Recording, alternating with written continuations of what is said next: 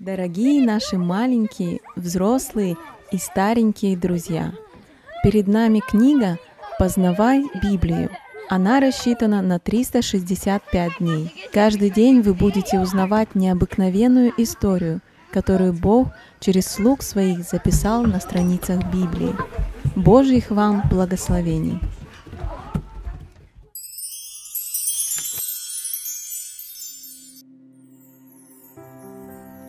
Презренный слуга.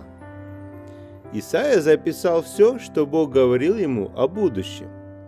Пророк видел слугу Божьего, успешного во всем, имеющего почет и уважение, но в то же время в нем не было ничего, что привлекало бы к нему.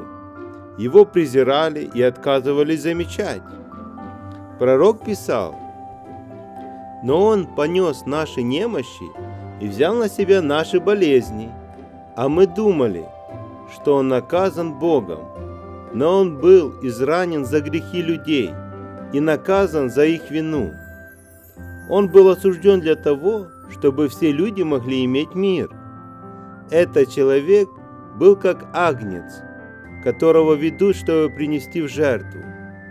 Его даже хотели похоронить как злодея, но он был погребен у богатого – и хотя сам он не сделал никакого греха, но Бог наказал его, чтобы помочь своему народу.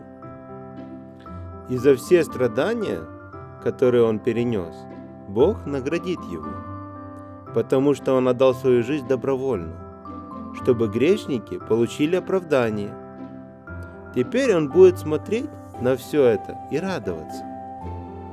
У него будет большое наследие – Бог сам будет, как добрый пастырь, оберегать этот народ и нести его на своих руках. Бог сам сказал об этом человеке. «Я на земле Сиона положу камень краеугольный, драгоценный и крепкий. На нем все будет держаться». Самому Исаии было трудно представить все это. Лишь много лет спустя люди поймут – что Бог хотел сказать через пророка. Что Бог показал пророку? Почему люди отворачивались от слуги? Почему страдал слуга Божий?